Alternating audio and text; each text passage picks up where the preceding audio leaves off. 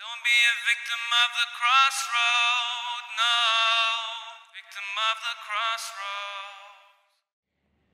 The speakers we have on uh, the stage right now are experts in terms of their related field. We know Kashif Bhai, who has uh, who's been conducting a lot of courses and been, has been dealing with a lot of people in terms of their problems and issues. He's been running a lot of organization. So all uh, sorts of background, uh, youth and elders, all related, have been able to approach him and be able to show their concern. Raja Bhai has been teaching in a, a university and be able to uh, communicate with a lot of students. Uh, we have uh, Sheikh Abdul Wahab, who's from Canada, so he will be able to give you insight about the uh, challenges the youth are basically going through in Canada. And Brother Luqman from UAE. So um, on my right is the international panel, and on my left is basically the local panel. So Brother Mugheerah is basically also teaching in UAE and deals with a lot of youngsters. So if you have any concern, be ready with your uh, questions. Just uh, throw them at us, and inshallah we'll try to cater them as much as possible. Before I uh, carry on, I would like Raja Bhai to basically put some light on it and what we basically trying to acquire from this panel discussion.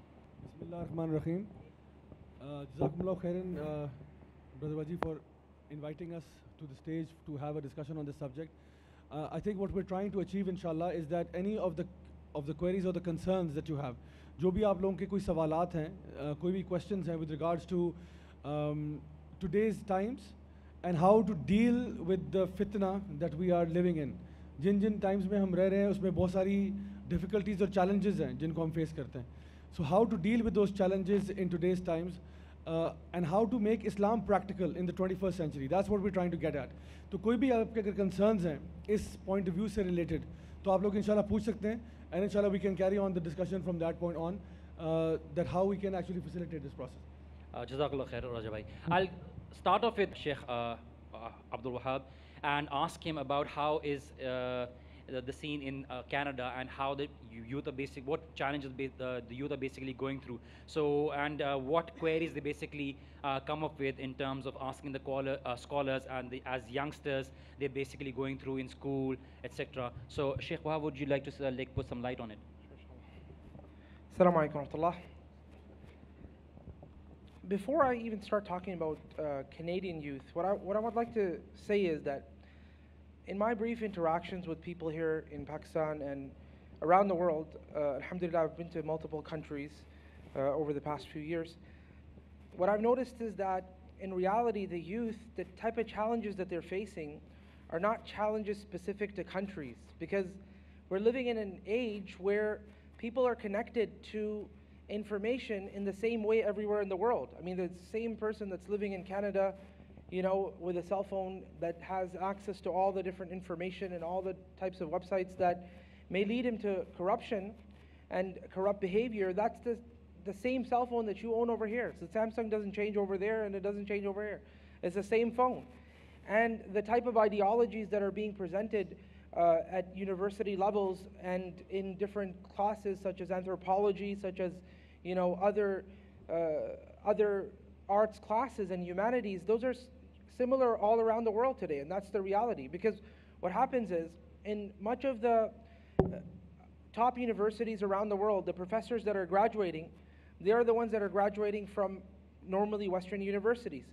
And hence, the type of information that they will be instilling within the youth over here, it's pretty much the same thing because they picked it all up from wherever they studied, whether that was, you know, um, you can name the universities on your. The point over here is that I think the challenges are pretty universal.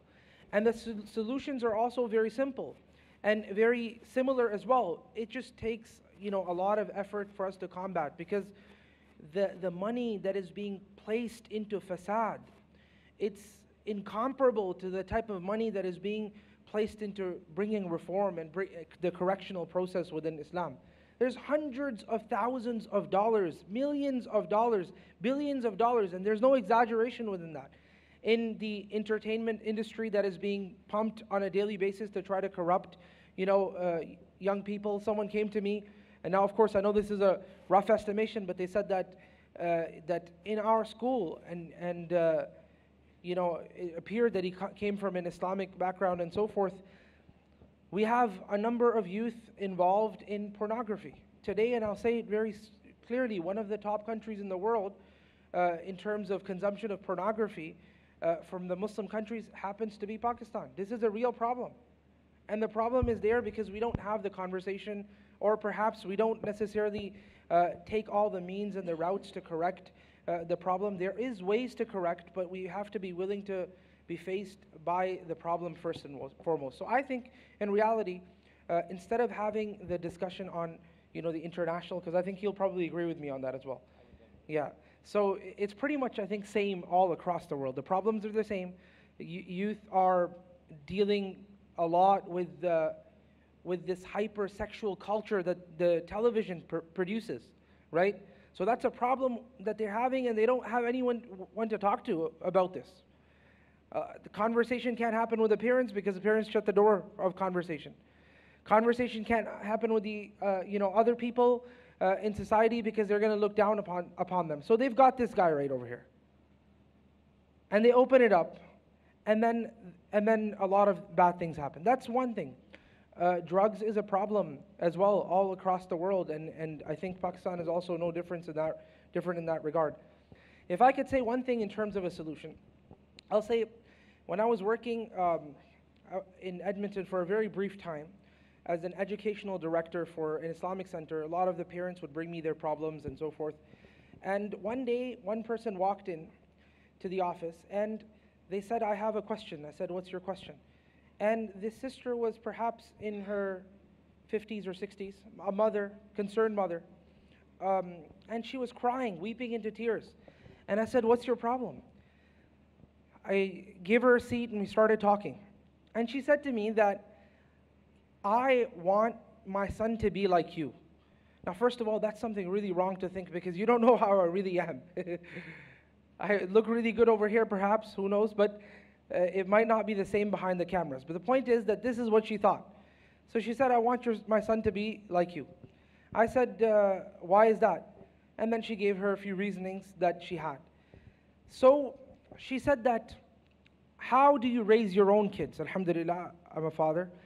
So I said, uh, You know, that's a very good question because my kids are at an age where I don't know how to protect them. uh, I don't really need to protect them from a lot of fitna. I don't really need to protect them from uh, a lot of trials. But I'm sure they're going to get to an age where I have to be concerned about that as well. So I said, Give me a couple of days and come back to me. I will talk to you, inshallah ta'ala, when you get back. So when she came back to me, by that time I'd spoken to my mother. I told her I'm going to speak to my mom because I'm not the one that raised myself, right? So I have to go back to the person who raised me. And she said that, you know, as you were growing up, I thought that there was people trying to basically take you from any direction, all the evils all around you. And I realized that I'm helpless. You're going to be going to school. I can't take you out of there. You're going to be going out with your friends. I can't stop you from that. Even if I can't, you know, I can't physically overpower you, right? So the only solution that I had was to turn to Allah Rabbul Izzati wal Jalal. So she said that that really is the most powerful, you know, weapon that you have uh, in order to protect your children. So a concerned parent, especially a concerned father, and also a concerned mother, would be constantly making dua to Allah Rabbul Izzati wal Jalal. Dua, don't underestimate dua, wallahi don't do it. Do not underestimate the power of dua. A man told me in, uh, in England, this person had cancer. And he said, I got cured for cancer, cutting the story short.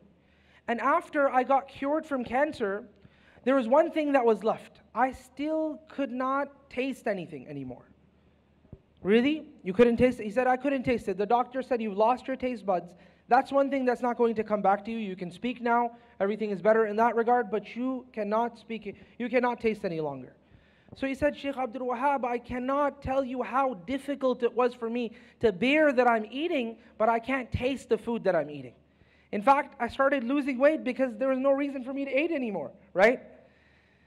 He said, I went to the Kaaba, I went to the Haram, and I, I stood by the Haram, by the Kaaba, and I made dua to Allah Rabbul Izzati wal Jalal. And I said, Oh Allah, I wish that you return my taste buds back to me. Knowing full well that Allah subhanahu wa ta'ala is the one who responds the call of the caller when he's really in need. He said, Wallahi, within one hour, I went to the restaurant and I could taste again. This is wallahi the power of dua. And the dua is definitely mustajab for the one who is going through difficult times. And, and there's many, many different ways to uh, get your dua answered as well. I have a book that I have translated from Imam As-Suyuti called, um, it's, a, it's a monograph, small book about how to have your dua accepted. Uh, perhaps that will be released later this year, inshallah ta'ala. Uh, since you been involved in lot of conferences in all these public talks so up till now کیا challenges آئے ہیں آپ کی طرف and what are the basic concerns from the parents اور the youngsters when they approach you what kind of questions do they come up with so can you just like elaborate on thank you very much وجی سب سے زیادہ جو question مجھے ten agers کی طرف سے آتا ہے وہ یہ کہ ہم اپنے ماں باپ کو کیسے بتائیں کہ ہمیں شادی کرنی ہے ابھی جیسے شیخ عبد الواز صاحب نے بتایا کہ جو ہائپر سیکشل سوسائٹی کے اندر ہم رہ رہے ہیں اور جس فتنہ کی سوسائٹی میں ہم رہ رہے ہیں، تو اس میں جو سب سے امپورٹنٹ چیز ہے پیرنٹس کے لیے وہ یہ کہ جیسے ہی ان کے بچے اس قابل ہو جائیں کہ ان کی شادی کر دی جائے، تو they should get the married number one اور نمبر ٹو یہ کہ جو ٹین ایجرس کے لیے میں سمجھتا ہوں کہ جو سب سے امپورٹنٹ چیز ہے وہ ہے کمپینین شپ وہ ہے companionship you should have good friends اور نبی کریم صلی اللہ علیہ وسلم کی بے شمار احادیث ہیں اس کے اوپر، قرآن کی صورت الفرقان میں آیات ہیں اس کے اوپر، کہ قیامت والے دن ایک دوست دوست سے کہے گا کہ یا وئی لتا یا لئی تنی لمتخص فلان خلیلہ کہ کاش کاش میں اس کو اپنا دوست نہیں بناتا، کیونکہ اس کی وجہ سے میں جہنم میں چلا گیا۔ تو you are known by our company you are definitely influence by our company تو always watch out who is your friend اور اچھی کمپنی کو فالو کریں، اچھی کمپنی کوشش کریں۔ اور ایک اور چیز یہ کہ ابھی تھوڑی دیر پہلے جب ہاں. واپس آیا تو مجھے ایک صاحب نے فون کیا ان کا کچھ فیملی ایشو چل رہا تھا۔ تو میں نے ان سے یہ کہا کہ آپ کا کوئی بھی ایشو ہے زندگی کا فوراً سب سے پہلے اپنی والدہ کے پاس جائیں اور ان سے کہیں دعا کریں میرے لیے۔ تو ہم میں جو شادی کرنا چاہتے ہیں وہ بھی اپنی ماں کے پاس جائیں ان کی خدمت کریں اور ہر صورت میں کریں کیونکہ میں ابھی دو دن پہلے دبئی میں تھا تو وہاں پہ ایک انٹرپرینور کانفرنس میں تو وہاں ایک صاحب نے بتایا کہ میں پانچ سال پہلے دبئی آیا، میرے پاس کچھ نہیں تھا اور مجھے سمجھ نہیں آ رہا تھا مجھے کیا کرنا ہے۔ اور میں نے ابو دھابی میں صفحہ اسٹریٹ کے اوپر کچرا اٹھانا شروع کیا۔ اور ود ان ون منتھ میں نے اپنا فلیٹ برج الخلیفہ میں لے لیا تھا۔ اور پھر انہوں نے کہا کہ میرے ماں باپ مجھ سے بہت خوش رہتے ہیں اور میں ان کی بہت خدمت کرتا ہوں۔ جب میں اپنی ماں سے کہتا تو میری ماں دعا مجھے دیتی کہ بیٹا، اللہ ایسا کرے کہ جس مٹی کو تم ہاتھ لگا وہ سونا بن جائے۔ اور وہ سونا بن جاتی تھی۔ تو ہمارے لیے سب سے امپورٹنٹ چیز ہے ایز اے پیرنٹ کہ اپنے بچوں کو اس فتنے سے بچائیں اور جیسے ہی اس ایج کو پہنچیں، ان کی شادی کر دیں، چھوڑ دیں کہ وہ کیا کریں گے، انشاءاللہ وہ کچھ نہ کچھ کر ہی لیں گے، انشاءاللہ۔ بس تھوڑی عقل ہونی چاہیے ان کو اور ان کو یہ اویئرنیس ہونی چاہیے کہ فیملی کو کیسے مینیج کرنا ہے. نمبر ون نمبر ٹو جو ٹین ایجرز ہیں وہ اپنی کمپنی کو واچ آؤٹ کریں. ہو از یور فرینڈ اور اپنی ماں اپنے ماں باپ کی پیرنٹس کی خدمت کریں ان سے دعائیں لیں آپ کے سارے مسئلے حل ہو جائیں گے شادی بھی ہو جائے گی in you have a question I have a question sir جس طرح آپ جس طرح آپ نے کہا کہ ہم اپنے ماں باپ کو کہیں کہ ہمیں شادی کرنی ہے بٹ سر ماں باپ یہ چاہتے ہیں کہ میری مرضی کے مطابق ہو۔ اب لڑکا لڑکی یہ چاہتا ہے کہ کیونکہ یہ لائف کا فیصلہ ہے۔ لائف کا فیصلہ ماں باپ کی مرضی کے مطابق نہیں ہو سکتا، کیونکہ لائف آپ کو اس کے ساتھ گزارنی ہے۔ تو میرا پرسنل جو ایکسپیرینس لا رہا ہے کہ دنیا کی ساری ڈگریاں کرنا بہت آسان ہے، مگر شادی کرنا بہت مشکل ہے۔ کیونکہ کیونکہ آپ کو اب مثال کے طور پر شادی کرنی ہے، آپ کو اپنی لائف پارٹنر چوز کرنی ہے۔ جب تک آپ اس کو سمجھیں گے نہیں یا اس کو، یا والدین اس کو نہ سمجھیں، تو یہ کوئی ایسا مطلب حل بتائیں کہ کوئی ایسا سلوشن ہو جس میں ہم یہ مطلب میں کہیں اب مثال کے طور پر now I am a C O company but still I am not married ماشاء اللہ آپ لوگ سمجھ رہے ہیں کیا چاہ رہے ہیں؟ یہاں یہاں پہ میں ایک بات کہنا چاہوں گا کہ جن لوگوں کی شادی ہوگی ان سے پوچھے کیا وہ سمجھ گئے ہیں؟ اچھا جی اس میں جو انٹرسٹنگ بات ہے کہ آپ یہ ایک ایسی سائنس ہے کہ آپ چار بھی کر لیں تو بھی نہیں آپ پوری کر سکتے ماسٹرز نہیں ملے گا آپ کو اس میں۔ پہلی بات. دوسری بات یہ ہے کہ جس طرح آپ کہہ رہے ہیں کہ والدین نہیں سمجھ سکتے تو ہم بھی نہیں سمجھ سکتے کیونکہ میں نے جیسے سائنس ہے اور کنٹینیوس ریسرچ ہو رہی ہے اور نئی نئی تھیوریز آ رہی ہیں. تو اس کا اچھا حل یہ ہے جو ایکسپرٹس بتاتے ہیں. ہمارے ایک دوست نے کیا بھی، ایک بہت ہی زبردست قسم کا کمپریہنسو ایک کوشچنر بنائیں چاہے آپ کی ارینج میرج ہو لو میرج ہو رسپیکٹ آف دیٹ اس میں آپ اپنے جو اسپاؤس ہیں یعنی اسپاؤس ٹو بی ان کے ویوز لیں اور different areas of life your priorities their priorities they view on this thing your view on this thing اس کو دیکھتے ہوئے فیصلہ کریں کیونکہ انسان کا جو موڈ ہے مزاج ہے یہ بڑی جلدی بدل بھی جاتا ہے۔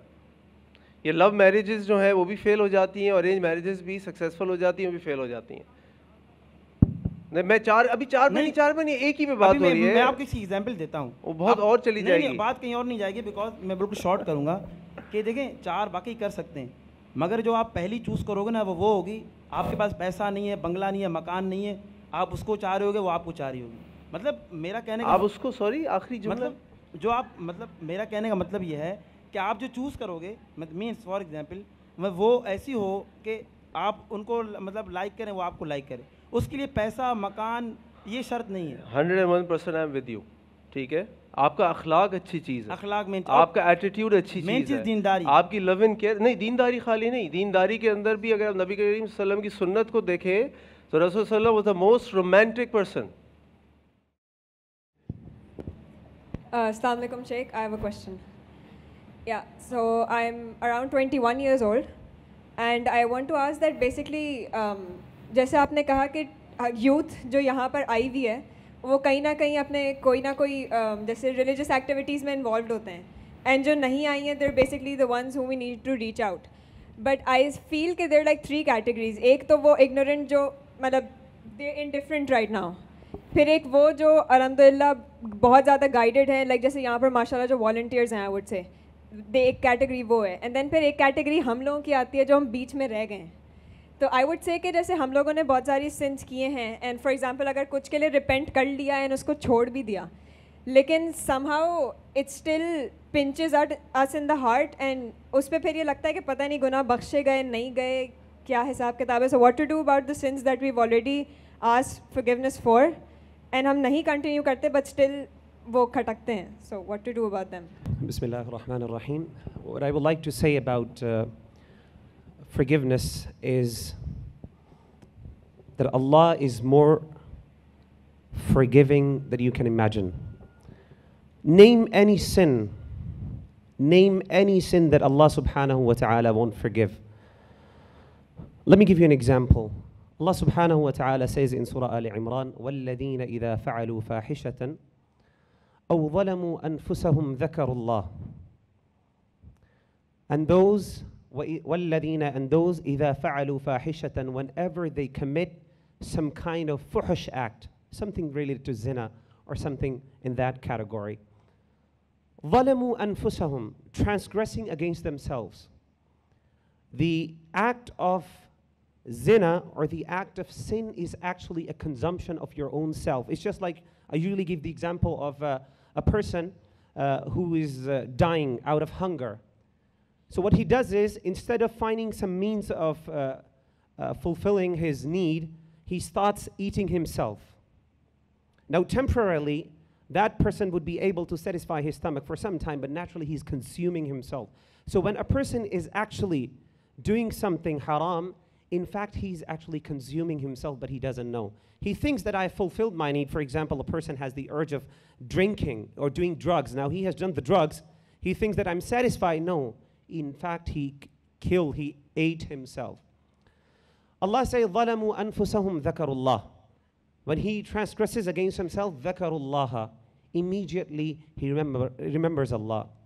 فَاسْتَغْفَرُوا لِذُنُوبِ فاستغفروا لذنوبهم ومن يغفر الذنوب إلا الله and then Allah says ومن يغفر who is there he asks Allah for the forgiveness and then says ومن يغفر الذنوب إلا الله who is there to forgive his sin ولم يصروا على ما فعلوا وهم يعلمون he's never consistent on the sin so my sister actually whenever there is a sin whenever you commit any sin or it's out of mistake no problem how many times you've done it thousands times hundred times doesn't matter as long as you're re- repenting as long as you're feeling humiliation in your heart that you have done something wrong wallahi al you don't need to fear allah but let me tell you that allah subhanahu wa ta'ala might give you more love because of your repentance than the person who's not doing that.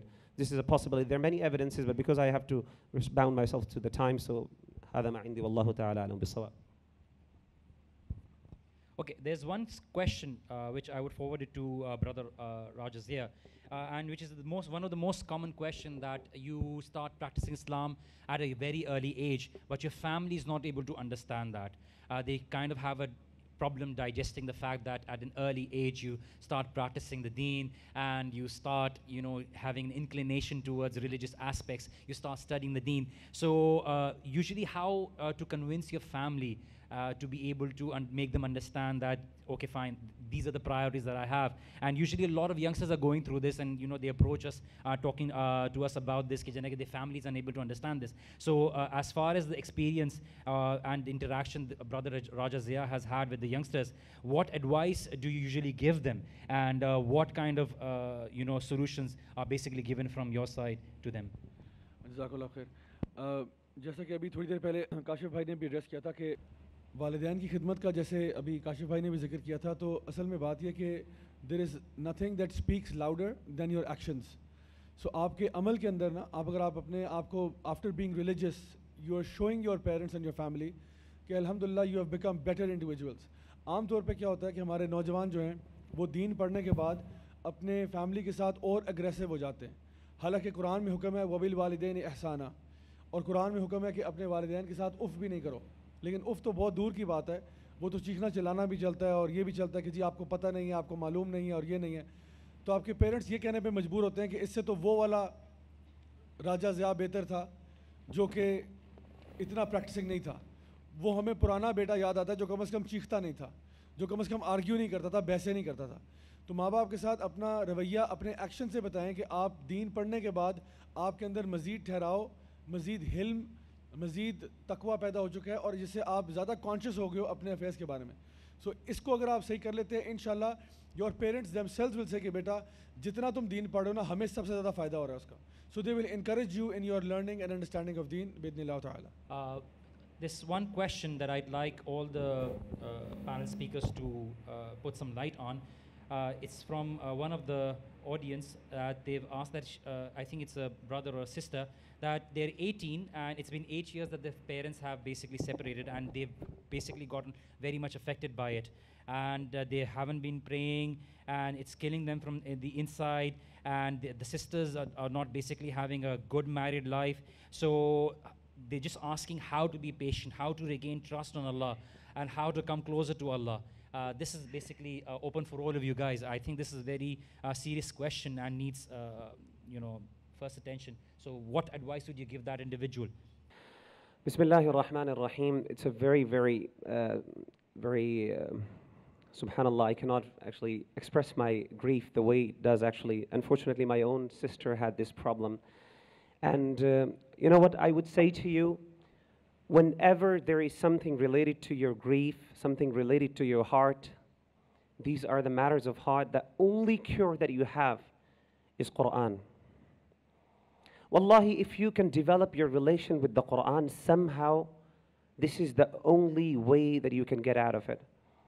Because I know my own sister, she had a divorce, and it's a very personal thing that I'm sharing right now. And uh, I was with my mother at that time, and I could see the way uh, things were proceeding. And wallahi al-azim, the ayat that were actually having, uh, that my uncle, who's mashallah a doctor and a scholar as well, she would send to my mother on uh, WhatsApp message was of uh, Surah Al-Qasas in the beginning when he would say that Allah subhanahu wa ta'ala knows your fear. Allah subhanahu wa ta'ala knows the pain that you're going through. Because the mother of Musa alayhi salatu was salam, she had to leave her son in the water. And also, she would, al- he would also send her the ayat of Yusuf alayhi salatu wasalam. إِنَّمَا أَشْكُو بَثِّي وَحُزْنِي إِلَى اللَّهِ this is the only thing that you can actually do and understand. And my mother, wallahi al-azim, whenever she would have this pain in her heart, she would always start with Surah Al-Qasas. So Allah subhanahu wa ta'ala commanded her to just actually let the, uh, the Musa alayhi salatu wasalam go and he would bring him, uh, him back to her. This was the promise that Allah said. Only the reason is patience. That is very, very important, and patience is achieved only, wallahi al-azim, as-sabr can only be achieved through obedience of Allah subhanahu wa ta'ala. هذا ما عندي والله تعالى أعلم. Uh, Bismillah, alhamdulillah, salatu wassalamu ala rasulillah. Uh, the question is a, a disturbing question, wallahi, but it's a question that is not an uncommon question as well. It is really something that does happen within societies where the parents end up separating. And when that separation occurs, you'll find that, uh, that one party ends up filling the other party, the children, with hatred towards the other party. And perhaps uh, that occurs, perhaps that doesn't occur. But the occurrence of divorce is on a rise, and that's something that is no mystery to anyone who follows statistics in this particular regard. And children who are raised up in families which happen to be broken homes or broken families, many a times they do find themselves in a very, very tough psychological situation and state. And it, what doesn't help, and I'm going to address that for a second because there could be other people that are going through this as well over here. What doesn't help is when one of the parents takes the fact that he has guardianship or she has guardianship over this child as an opportunity to destroy the image of the other parent, right?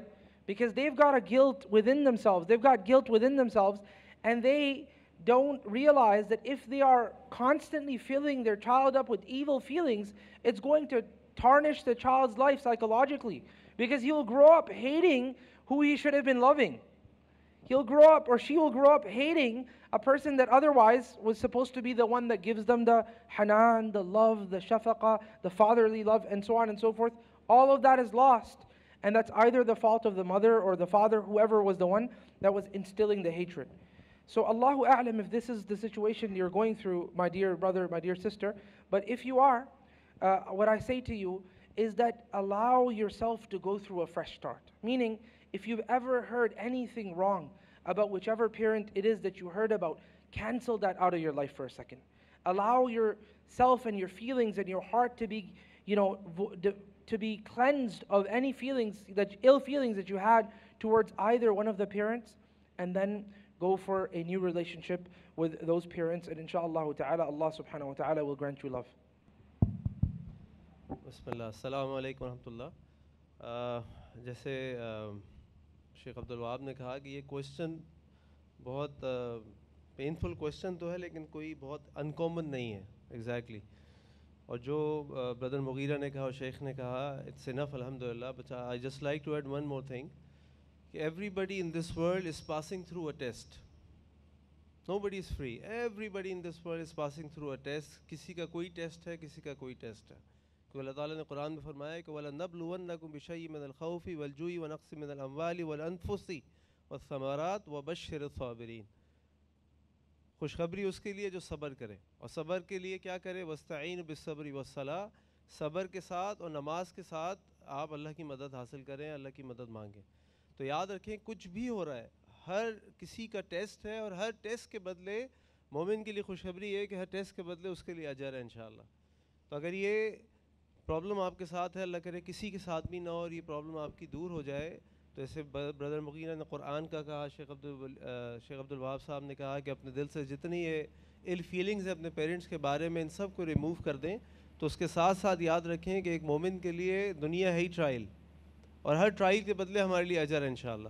تو اللہ تعالیٰ سے مجھے ایک شیخ کی دعا یاد آ رہی ہے کہ شیخ نے ایک دعا، ایک ایک مفتی صاحب ہیں بڑے، انہوں نے دعا کی اور دعا یوں کی کہ وہ کافی بیمار تھے۔ انہوں نے اللہ سے دعا کی دعا کسی نے لکھی کہ شیخ صاحب نے یہ کہا کہ اے اللہ، یہ بیماری بھی آپ کی نعمت ہے اور یہ صحت بھی آپ کی نعمت ہے۔ میری آپ سے دعا یہ ہے کہ اس بیماری کی نعمت کو صحت کی نعمت سے بدل دیں۔ تو اگر یہ ہماری آزمائش ہے تو یہ بھی ایک نعمت ہے، قیامت والے دن ہم اللہ تعالیٰ سے کہیں گے، اللہ تعالیٰ ہمیں اور کیوں نہیں آزما لیا آپ نے؟ تاکہ ہماری جتنی آزمائش اس قیامت کے دن کی ہیں یہ نہ ہوتی۔ تو اللہ تعالیٰ کا، اس کا مطلب نہیں کہ ہم اللہ سے آزمائشیں مانگیں۔ ہمیں اللہ تعالیٰ سے ہمیشہ دعا کرنی چاہیے، اللہ تعالیٰ ہمیں ہر تکلیف سے دور کر دیں۔ لیکن جو کچھ بھی ہمارے ساتھ ہو رہا ہے، اللہ تعالیٰ علیم سب کو جانتے ہیں، اللہ تعالیٰ اللہ کلی شعین قدی ہر چیز پہ قدرت رکھتے ہیں۔ اللہ تعالیٰ الحکیم سب سے زیادہ وزڈم اللہ کی، اگر اللہ نے چاہا تو اللہ تعالیٰ نے یہ ہمارے لیے لکھا ہے تو اسی میں ہمارے لیے بہتری ہوگی انشاءاللہ۔ اور توقع اللہ اللہ پہ توقل کریں، اللہ سے دعا کر اللہ تعالیٰ ہم سب کی ان پرابلمس کو ریزالو کر دیں، اللہ تعالیٰ ہم سب کو اپنی آزمائشوں سے بچائیں آمین یا رب العالمین۔ آمین۔